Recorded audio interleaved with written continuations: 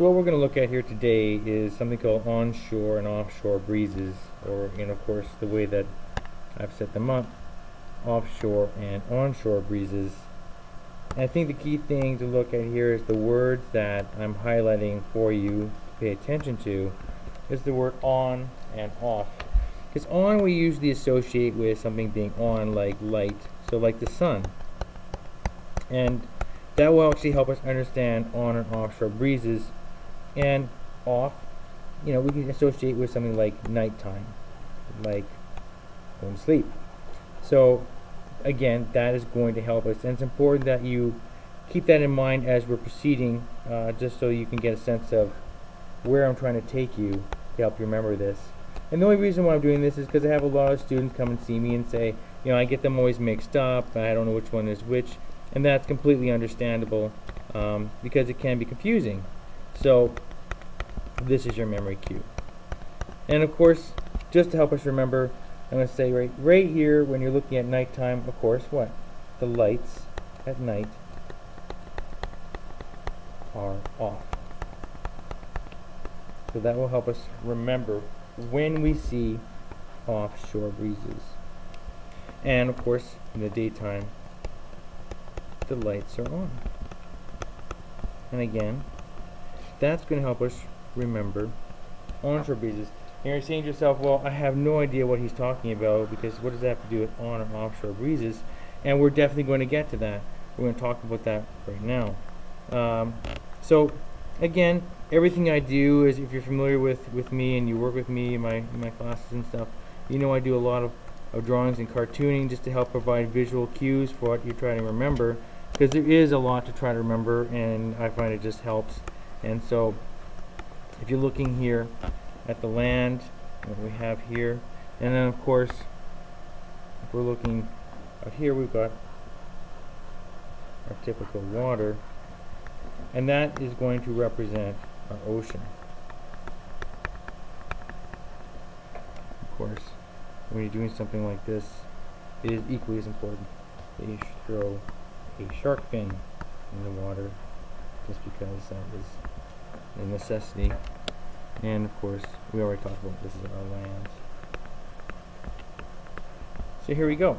So you have to picture yourself standing here on the beach, wherever it is you are. I hope you're happy. You're on a beach. You should be happy.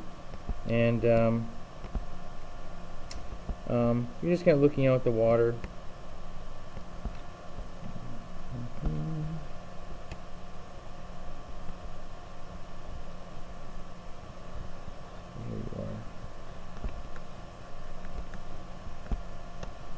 In the air. I'm so happy to be here.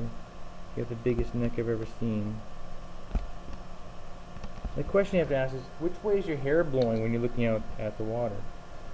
And here, here's what I'm trying to say is that when you're looking at an onshore breeze, it's moving this way. An onshore breeze moves from the ocean to the land. So in this case here, you would have your hair blowing like this. And when would that be? You're standing on the ocean, edge of the ocean, you have blue hair. That's bizarre. But you're standing on the edge of the ocean. To give you some decent hair. Uh, well, maybe not. I'll give you some black hair. Okay, here you go. You're standing at the edge of the ocean. And your hair is blowing this way because the air is moving from the water to the land. And why is that? Why is that happening? Well, because as the sun is out, what's happening during the course of the day is that the land is being heated and the air is rising.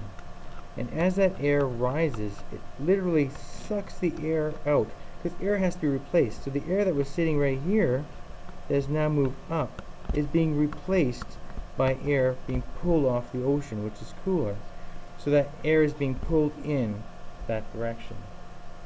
So during the day, the wind is blowing onshore, and that is something you need to know. And why is that? It's happening because the air that was sitting here on the land is moving up into the atmosphere, so going up higher because when things heat, they of course go up. and we've talked about that already.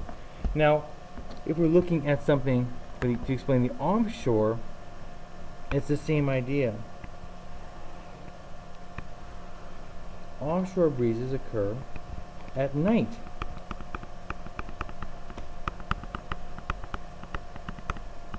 And why is that important? Well, that's important because um, if you're standing on the beach and you're on your date and you just spent hours and hours doing your hair to um, to go on this date, um, and in the movies you usually see people standing on the ocean, all romantic, looking out, and your hair, if you're looking at the ocean, is literally going to be blowing out this way all over your face, and that's one of those things where it's going in your mouth and it's awkward. So you know at night the air is going to be rushing from the land over and over and onto the ocean. And why is that? Well, that's because that over the course of the day, when the daytime is happening, right, the ocean water has actually heated. It's gotten warm. So you got some real warm water happening here, right?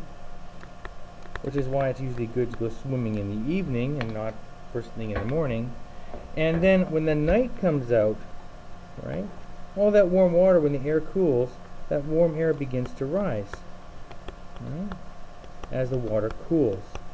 Well, once again, as air rises, it has to be replaced from somewhere, so the air is being pulled in this direction as that air is being replaced as it rises. Warm air rises, cold air goes down. So that's an explanation for you of offshore and onshore breezes.